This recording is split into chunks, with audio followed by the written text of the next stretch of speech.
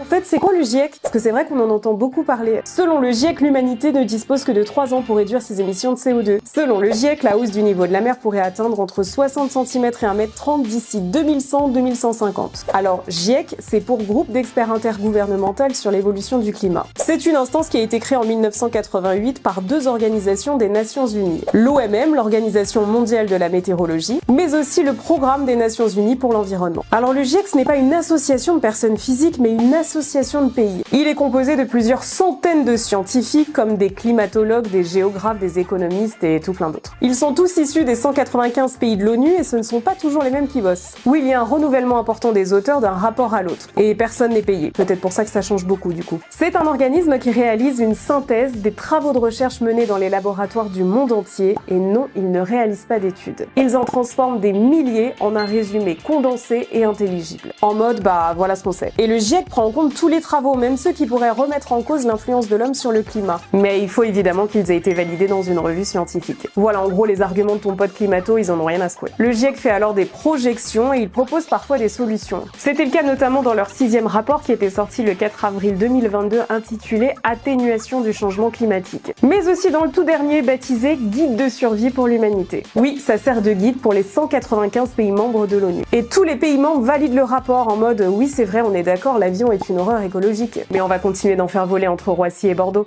Bref.